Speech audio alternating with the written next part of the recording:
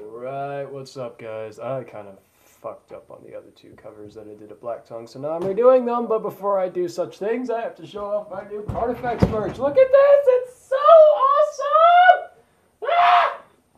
Alright, that's enough of my flaunting. Let's do this.